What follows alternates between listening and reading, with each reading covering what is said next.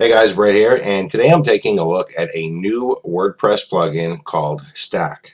So what exactly is Stakk? Well, Stakk is a WordPress plugin designed to allow you to create all sorts of pop-ups.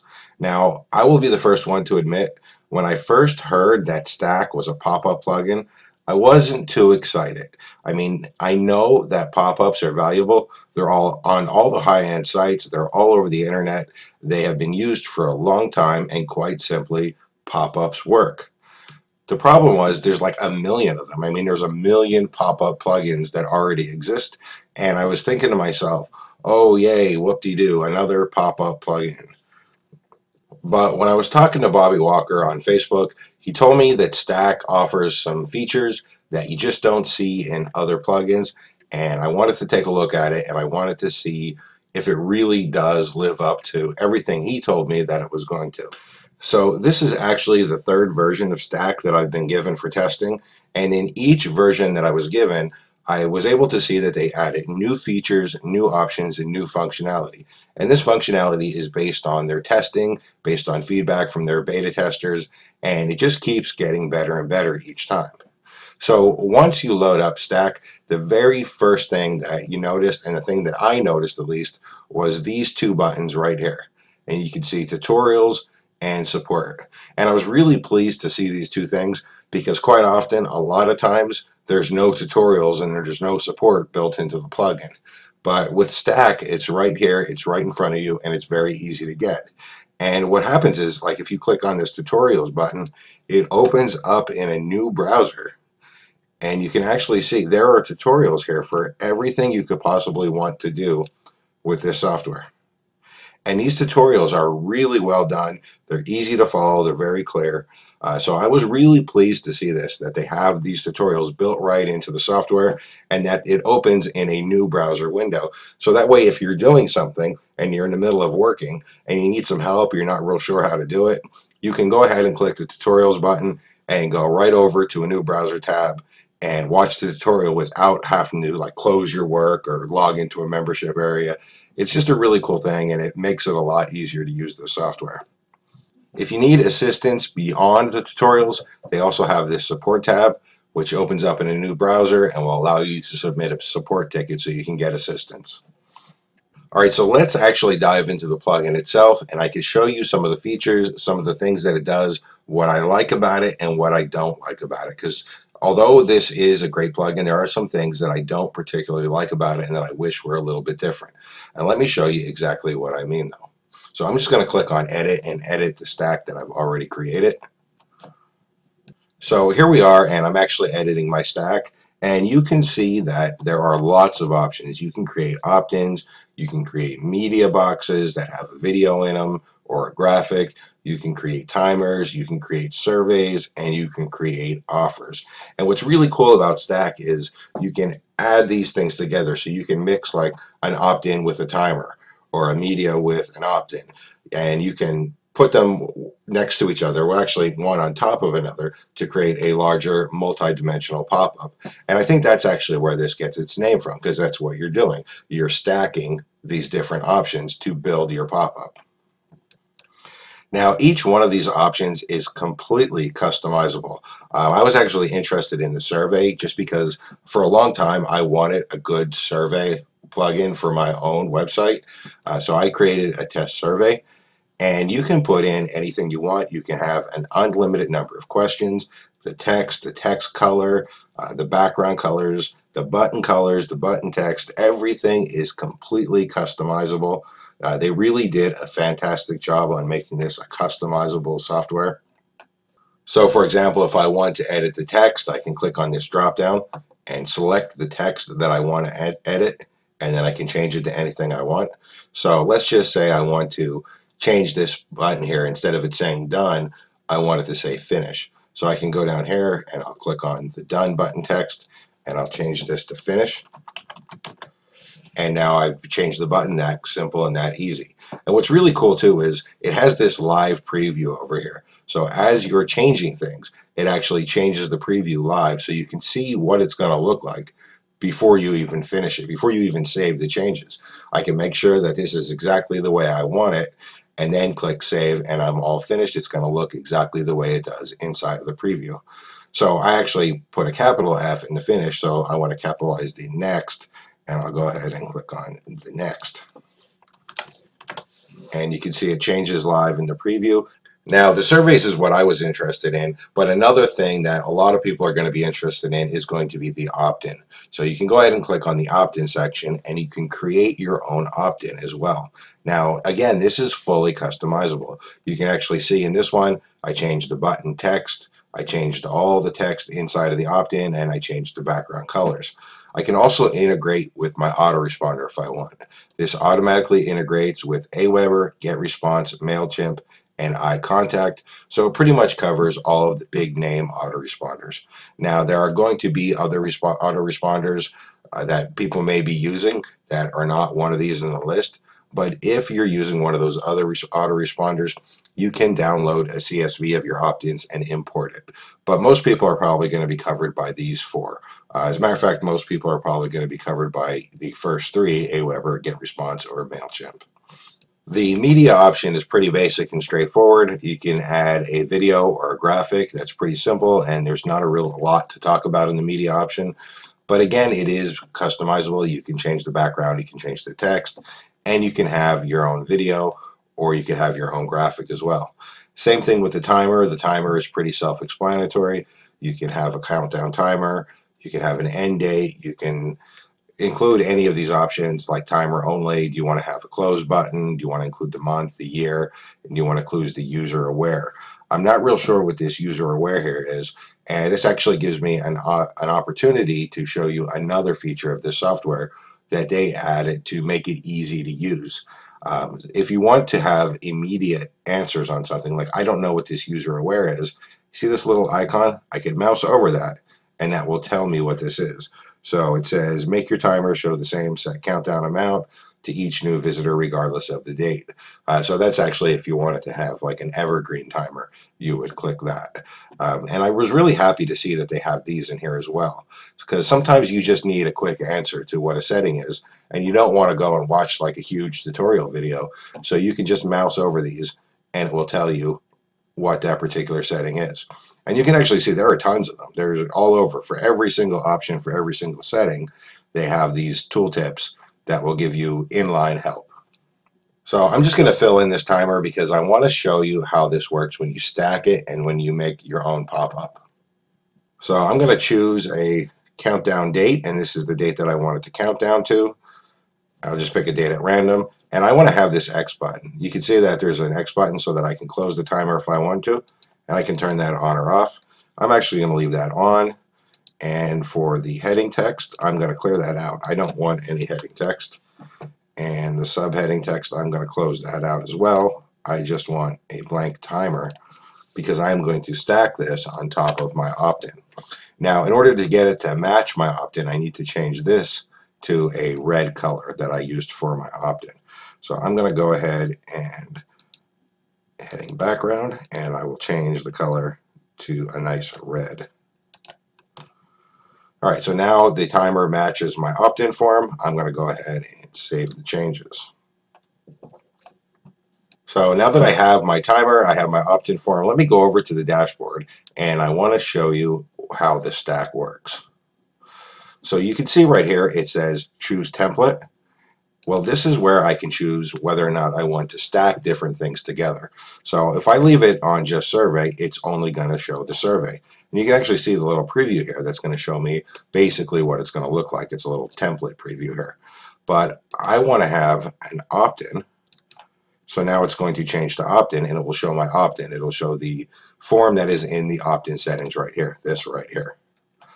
But let's say we want to stack something. We want to put two things together. So now what I could do is choose opt-in plus timer. And you can see what it's going to look like. So I'm going to go ahead and save the changes. And I'm going to preview it. So here we are on my testing page, and that's where I decided to add the stack. Now you can see how it slid down from the top. That's because I chose that option. I chose the slide down animation. There's actually several other animations. I mean, you can even edit the overlay. You can see how there's this little overlay here. Uh, that changes, kind of fades out and darkens the background. That's totally customizable as well. I could use a different color. I can change the opacity. I can have a video if I want. I could have a graphic if I want. Again, this thing is totally customizable. It really is a powerful plugin as far as opt-ins go. Now, I want to point something out in this in particular. And what you can see here is you can see the timer and you see how it kind of sticks out a little bit past its container. Well, that's actually not the fault of this plugin, but it is an inherent problem with WordPress plugins. Now, the reason I say it's not a fault of the plugin is because this is not caused by a flaw inside of the plugin. I actually spent a lot of time looking into this because initially I thought it was a problem with the plugin.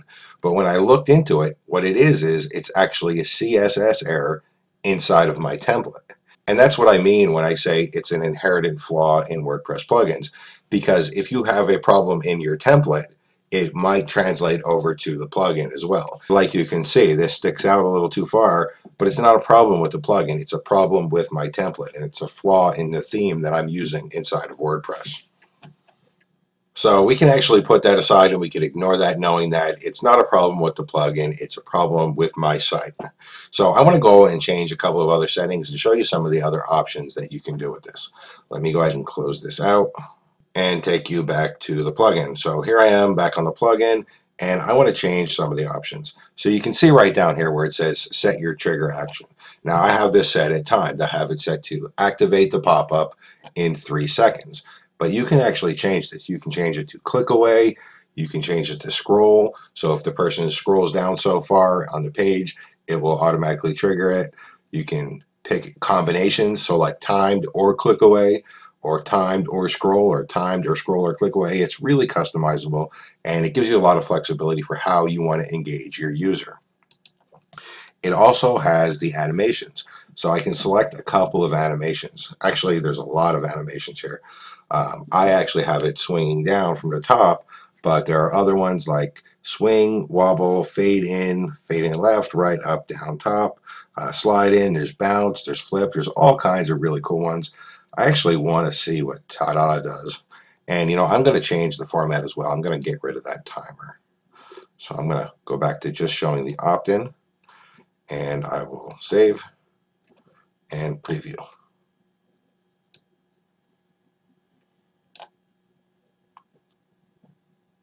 yeah, that's that's pretty cool. It catches your attention. There's no way that you're not going to notice that pop in with that ta-da animation.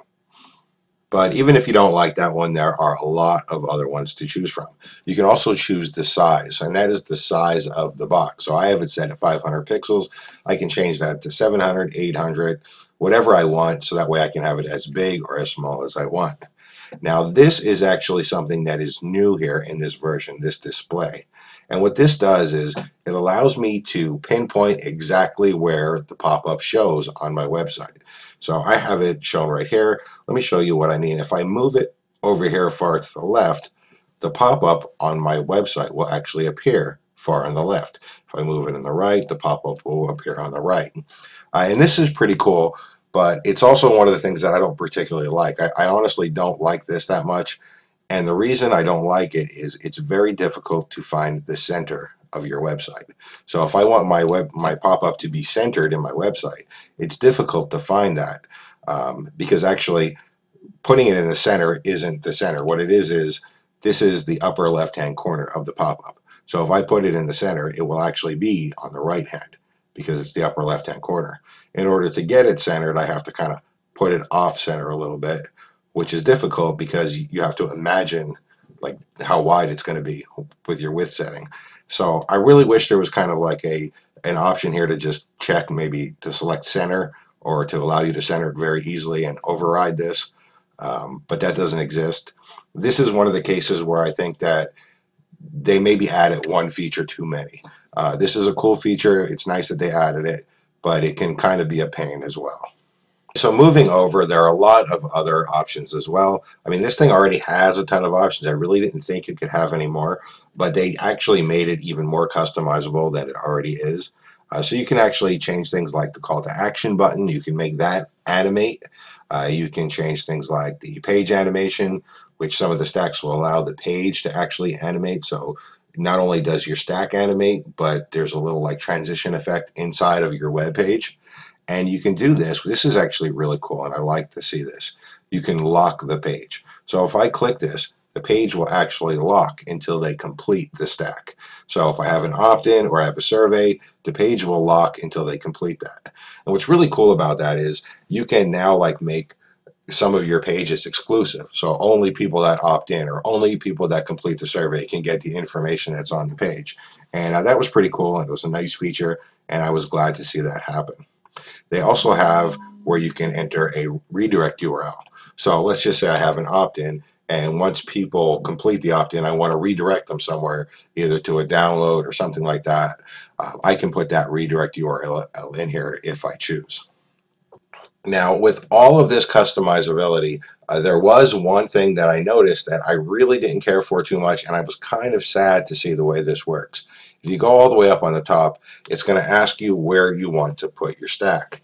And you can see you can choose any of the pages on your website and you can put the stack on any page that's a part of your blog. The problem is that some blogs don't have pages. Some blogs have posts. For example, if you go to my blog, you go to brettrutecky.com, most of my content is in the form of posts. It's not pages. Pages and posts are different in WordPress. And, uh, you know, having this let you select a page to put it on makes it kind of useless for people that have the majority of their content in posts like I do. So if you have a, a real blog where you have a lot of posts, you're only going to be able to put your stack on your pages so such as your home page or you know specific pages you're not going to be able to put this on your post and I was kind of sad to see that because it really does limit where you can put your stack uh, I would have liked to have seen you know a, a short code or something that you can get and post it inside of your post and have that add your stack to your post. But that's just not in here, and I'm really not sure why they chose to limit this to only pages. Now, if you have a WordPress site that uses pages, you know, for the most of its content, or that at least has pages that people are normally going to visit, this is going to be useful to you. It's going to be great for you. If you have a WordPress site that is primarily posts like mine, where I do blog posts, this isn't going to be the best option.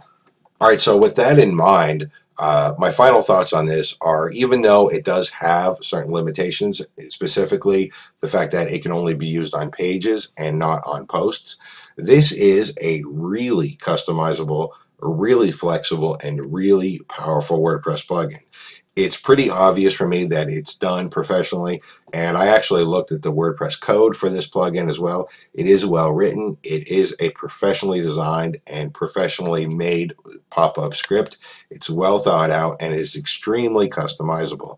I mean, honestly, it's so customizable that some of the options can be a little overwhelming, but if you take a moment to watch these tutorial videos, it will be easy for you to use. Honestly, I only showed about a quarter of what this thing can do, just because if I showed everything that it can do, the video would be an hour and a half long.